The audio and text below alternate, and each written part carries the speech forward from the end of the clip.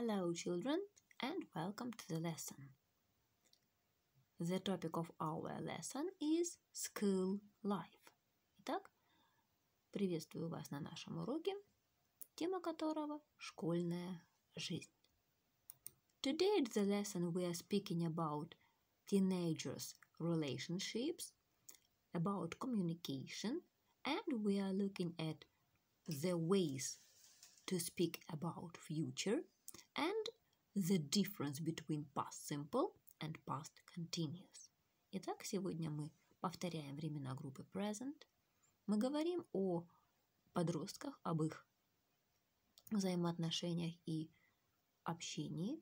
Также мы повторяем способы выражения будущего и вспомним, чем отличается past simple, прошедшее простое, от past continuous, прошедшее длительное.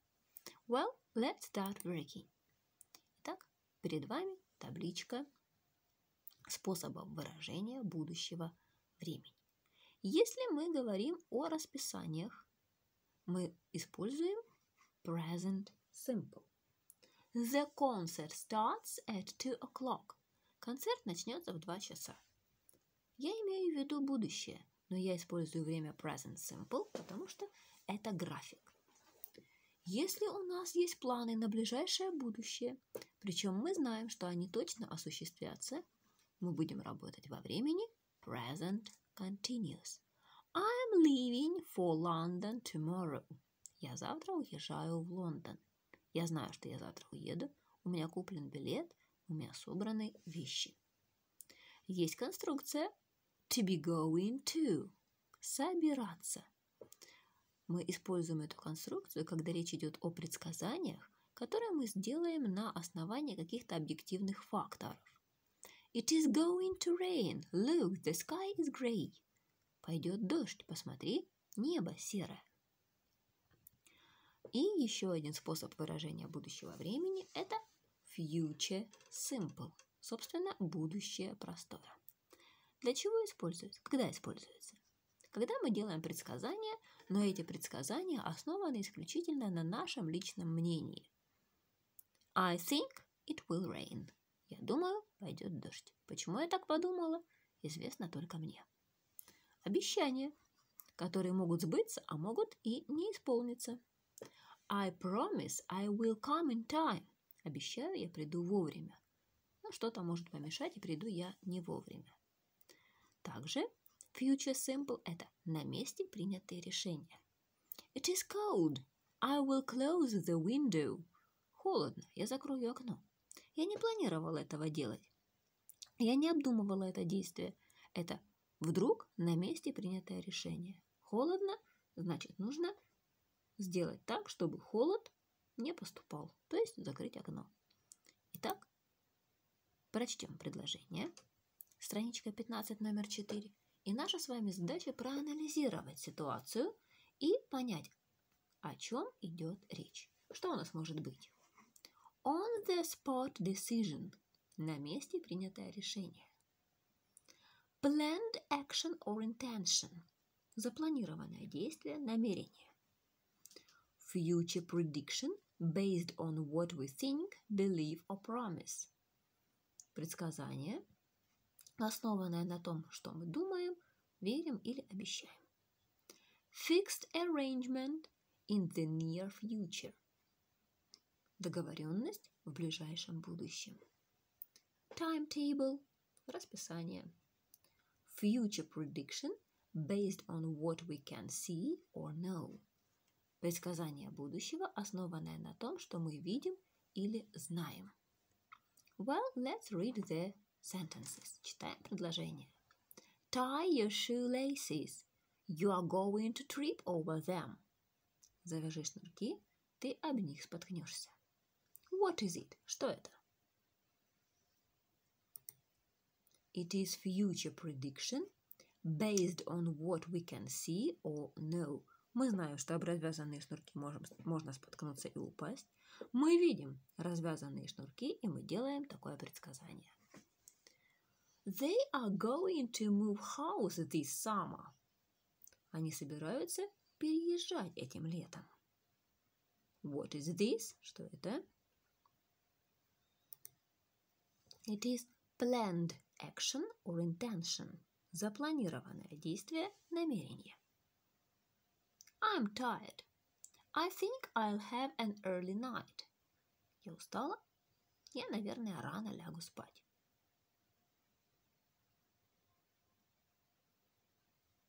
What is it? It is a future prediction based on what we think, believe or promise. Я могу лечь рано спать, а могу и не лечь. То есть мое обещание может исполниться или не исполниться. The bus leaves at 7 p.m. Автобус отправляется в 7 часов.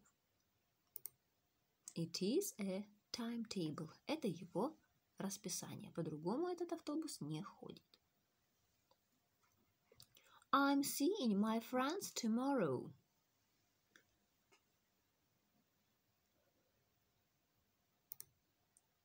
It is fixed arrangement in the near future.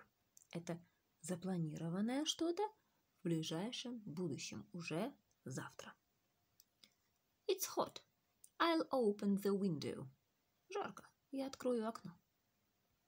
It is on the spot decision. Вдруг неожиданно принятое решение. Надеюсь, это вспомнили и это понятно. Let's do an exercise. Давайте выполним тренировочное упражнение. Exercise 5, page 15. Stop the video and complete the sentences using will or to be going to. Внимательно, глагол to be, он изменяется. Am, когда мы говорим о себе, are, когда мы говорим во множественном числе.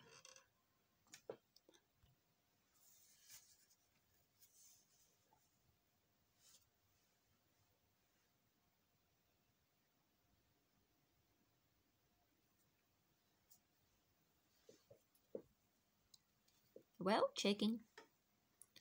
Look, Pet's here. I will go and talk to her.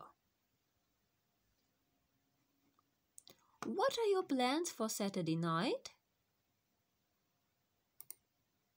We are going to invite some people over for dinner. Would you like to come? I am afraid I can't solve this problem. Don't worry. I will help you. The phone is ringing. I will get it. Are you still in pain? Yes. I'm going to see the dentist tomorrow. Check your answers. Проверяйте свои ответы.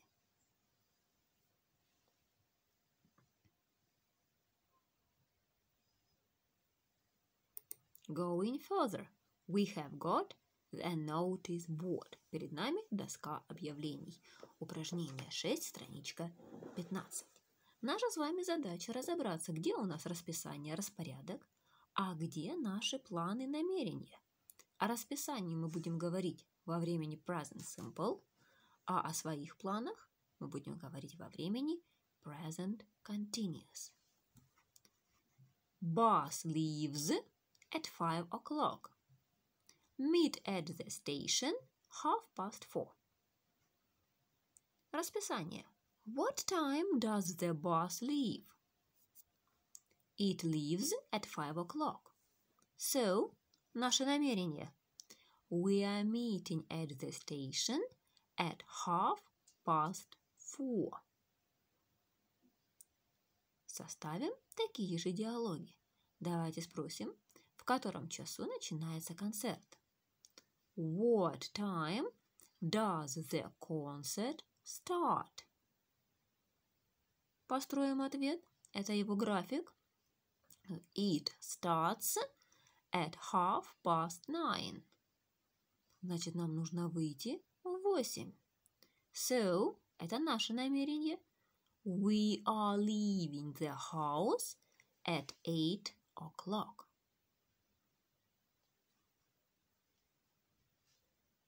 What time does the film start?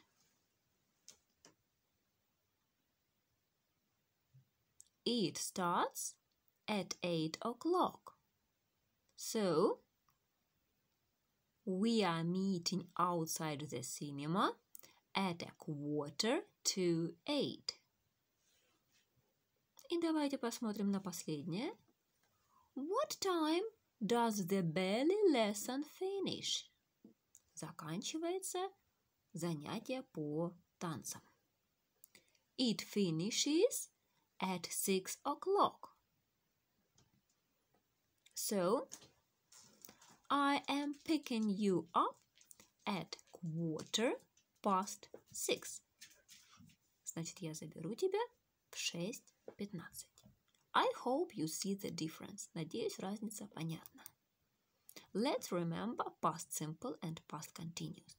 Давайте вспомним, что такое past simple, а что такое past continuous. Итак, что такое past simple? Это действие, которое в определенное время в прошлом было совершено. И связи с настоящим оно может не иметь. И либо, когда мы перечисляем действия в прошлом, которые происходили одно за другим. Встал, собрал вещи, оделся, умылся и пошел в школу. Это будут действия, совершавшиеся одно за другим. А что такое past continuous? Это действие, которое выполнялось в прошлом в определенное время. То есть мы знаем, когда, и мы знаем, что действие было достаточно продолжительным. Либо мы говорим о том, что действие в прошлом заняло какой-то период времени. Далее. Если несколько действий выполнялись в прошлом одновременно, мы будем использовать тоже past continuous. Либо когда у нас два действия. Одно из них прерывает другое. Действие, которое длилось, которое было прервано, будет использоваться в past continuous. Let's have a look at the sentences. Опять мы с вами читаем предложения и анализируем их значение. Что у нас может быть? Complete action or event which happened at a started, stated time in the past. Завершенное действие, которое началось в четко известное нам время в прошлом. Past actions which happened one after another. Действия в прошлом, которые происходили одно за другим. Past action in progress interrupted by another past action. Действие в прошлом, которое было прервано другим действием в прошлом. Two or more simultaneous past actions. Два и более одновременных действий в прошлом. Past habit or state. Привычка или состояние в прошлом. Итак, давайте смотреть. He picked up his jacket, locked the door and left. Взял куртку, закрыл дверь и ушел. Past actions, which happened one after another. Действия происходили одно за другим. I was cleaning the attic when I came across my first diary. Убирал на чердаке, как вдруг наткнулся на свой первый дневник. Уборка – это процесс длительный. А найти какую-нибудь интересную вещицу – это краткое действие. Past action in progress interrupted by another past action. Действие, которое длилось, было прервано другим действием. Shakespeare wrote Hamlet in 1600. Шекспир написал Гамлета в 1600 году. Мы знаем время выполнения действия. It is a complete action or event which happened at a stated time in the past. When he was young, he rode his bike to work every day.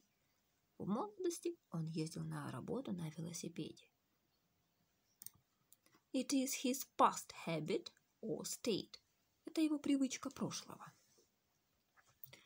I was watching TV while they were cooking dinner. Я смотрел телевизор, пока они готовили обед. Они мне не мешали смотреть телевизор, я им не мешала готовить обед. То есть действия происходили одновременно, не пересекаясь. Two or more simultaneous past actions.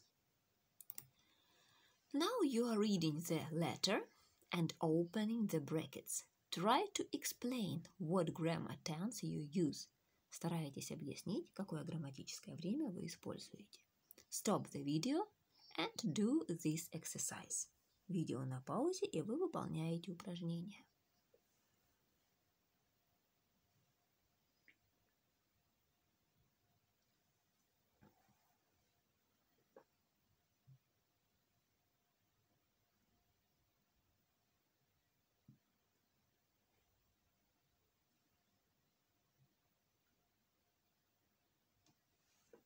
Well, checking. Итак, проверяем. Dear Jess, how are you? I'm sorry I haven't written to you for a while, but I was really busy. Let you tell let me tell you your my news.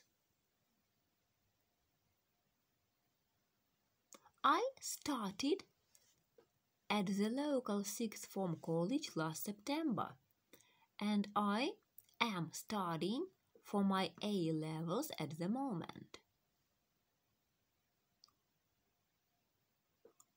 I'm going to become a lawyer when I grow up, so I will have to work hard and pass all my exams to get into a good university. My other news is that I have a new pet dog. I have been having him for two months now, and he is really cute but sometimes a little naughty. For example, while I was walking him in the park yesterday, he ran off, and it took me an hour and a half to find him again. Anyway, I must go as I have some homework to do, but I promise I will write again soon. Love, Поппи. To your homework, к вашему домашнему заданию. Вы повторяете правила употребления времен. И по образцу письма, которое мы только что прочитали, вы пишете письмо другу о своих новостях. Это могут быть школьные новости, новости из вашей спортивной жизни и любые другие новости. That's all for today. Goodbye.